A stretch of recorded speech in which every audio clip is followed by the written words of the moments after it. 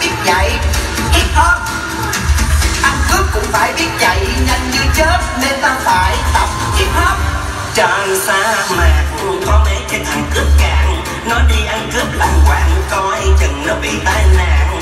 Rồi đây tụi bay sẽ bị dân chúng cầm đầu.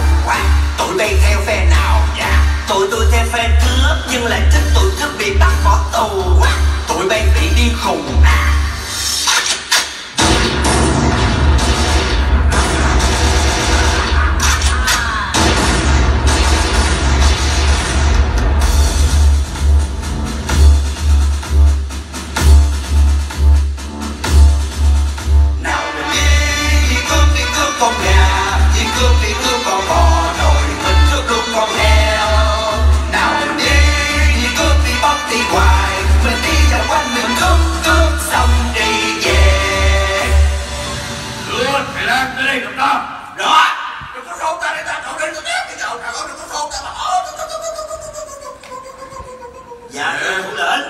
Sao? tên thầy đang ở đây. Hắn biết tất cả mọi chuyện trong cái ngôi nhà đó đó